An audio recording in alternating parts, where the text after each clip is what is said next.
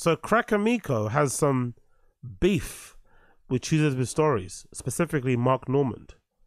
Not sure what's going on there, but I have a feeling I kind of know. That particular episode where Luis J. Gomez brought up Crackamico to Mark Normand, and Mark Normand went white in the face. He was like shivering and shaking because I guess he was uncomfortable at the thought of Crackamico making a song that was ripping into his quote unquote friends. Really and truly, I'd imagine he's probably just like conscious that maybe he will be next on the chopping blocks. Maybe that's the case. Either way, it was a weird reaction because I'm a fan of Mark Normand. Um, I like his comedy. I like him on Tuesday with Stories. I think he's a pretty um, what you call it, funny dude, and he's a good podcast host and shit. And he generally seems to be really silly all the time. So I was kind of taken aback when he like reacted very nervously and and almost panicked when the name Crackamico was brought up. Like he was very, very scared. And I couldn't work out why. I was like, ah, why is he so worried and scared? Like, aren't you a comedian? Aren't you like a bit of an edgy comedian too? You just have to push the line and shit and just be cheeky, whatever, and just fuck around and fool around. Like, why are you like this worried about some dude making a parody rap song about some of your friends? Like, why, why, why would it bother you?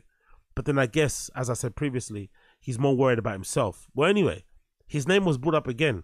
Crackamico's name was brought up once again on Tuesday with Stories, and he reacted just as badly as he did when he was on Skanks or when he was on a Legion of Skanks. Not, not Legion of Skanks, when he was on Rap, I think. He reacted just as badly. Look at this clip. This is courtesy of Crackamico's Twitter that I ripped, so big up Crackamico. But look at how Mark Normand responds when Crackamico's name is brought up. It's a scary feeling. By the way, you see that Crackamico? Oh, yeah. That guy's vicious. Yeah, that Pang Dang line really hit. Look at that face. You see his face immediately. Immediately when Joe List brought up Crackamico's name. Look at Mark Normand's face. It's a scary feeling. By the way, you see that Crackamico? Oh, yeah. That guy's vicious. Look at that face. Like, why is he so scared? Did Crackamico like fuck his girl? Did Crackamico beat him up in, a, in in days gone by? Like, why is he so like nervous?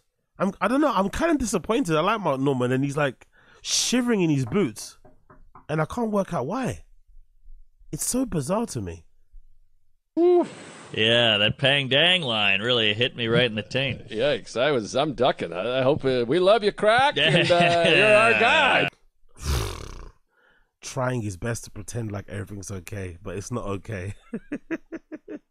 One more time. Oh my Really god. hit me right in the taint. Yikes! I was I'm ducking. I, I hope uh, we love you, Crack, and uh, you're our guy, baby. I like crack more than Hunter Biden. What?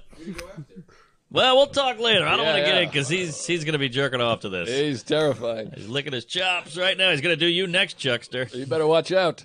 Uh, but any farts to that crack up. He's so scared, isn't it? He's so scared. Miko. Oh yeah. Yeah, I don't know what's going on there, man. I really don't know what's going on there. Yo, big up the stream chat. Ricky Picture Coiler, what's good? What's good, my guy? The word is Mark has pretty hardcore blog back in the day he's stressed about. A blog? What, a blog where he said like racy, dicey, dicey stuff? Uh oh. Uh oh. Uh oh. If that's true. you know, you know, Crackamico's on that Wayback Machine. You know, Crackamico's on that Wayback Machine. You know, he's on that Wayback Machine, digging, digging for some evidence, digging for some material for the bars. You know, he's on, he's on some of that. He's on that Wayback Machine. Fuck. Actually, I'm, su- I'm surprised people haven't. But I guess Tim Dillon had one in it. Didn't Tim Dillon have like? No, I think Tim Dillon's blog. No, Tim Dillon had a Tumblr, didn't he? I think he had a Facebook also, where he used to post on it, and also like a Tumblr where you used to like write crazy articles. I think that might be, I think that might be the reason why he was friends with Rogan, Tim. I think Rogan saw one of Tim Dillon's like Facebook posts and shit, and then shared it, and then it kind of like turned into a situation.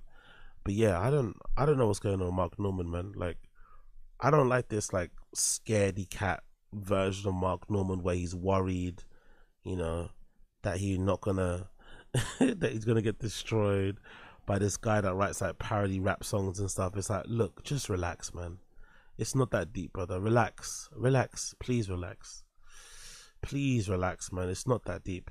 Yeah, I had a pretty um I had a pretty uh decent little blog spot back in the day, but I deleted mine like an idiot. I don't know why.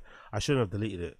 I can still find some posts on my on if you go on like way back and shit, but I wish I would have kept it because it was pretty decent. I had, I had quite a bit of like you know nonsensical posts on there talking about shit and whatever is, just ranting and rambling about nonsense.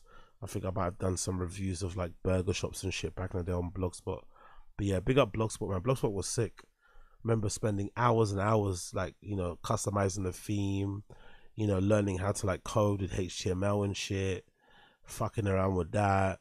Like, I fucking love that shit, honestly. Little carousel on the side with pictures from Flickr and shit, different fonts on the fucking tight on the header. Like, I loved all that stuff, man. I swear. So fun. So fun. But yeah, I'm disappointed with this. I'm disappointed in Mark Normand. He's letting me down. I don't like this scaredy cat version of him. I want him to let his nuts hang and go bar for bar with fucking Crackamico. It's not that deep. The guy's just making parody rap songs. Like, relax. We're gonna laugh, we're gonna kiki, but for the most part, your fans probably won't even give a fuck anyway. But he seems so worried, like, and I don't understand why. But I guess what thing you mentioned before about his having a dicey blog might be the reason why um, especially with the kid on the way. Or I think he's got a kid already and he's married, so maybe he's thinking like his whole life can come crashing down because of this one blog he wrote in 2006. Which is quite funny, isn't it? Imagine you just got your career started. No, you just got your career where you want it to be. You just got yourself settled down. You're about to marry your fiance, and then suddenly some random parody rapper right, decides to just dig up some dirt on you from your old defunct Tumblr that no one knew existed, and now suddenly you're having to like get stressed, and now you're worried that you might have to end up being a guest on the Fighter and the Kid or something. You know what I mean? You might have to join fucking Golden Hour because you could get cancelled. Mark Normand doesn't want to doesn't want to end up being Brendan Schaub's co-host, isn't it? He's worried. He's really fucking worried. So I understand, I get it, but it's just a bit sad to see. I'm not gonna lie. It is a bit sad to see. Um, yes, yes, yes, yes, yes. Big up, big up, Bossa. Big up for smashing the like button. Appreciate it, brother. Everybody else, please join Bossa as well and smash that like button. You get me?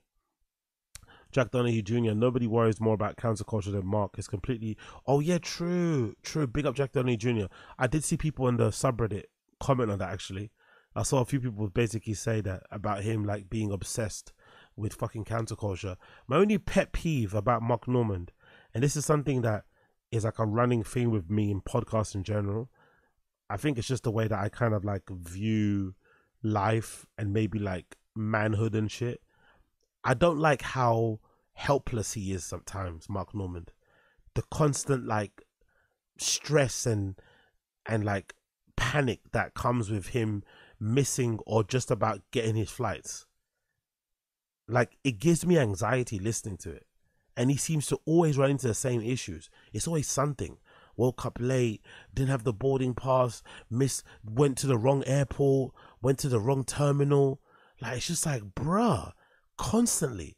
It's like every fucking time he goes on tour on the weekend, there's always some story, some issue with the fucking flights this, that, change this, this, that. The hotel was this, this broke.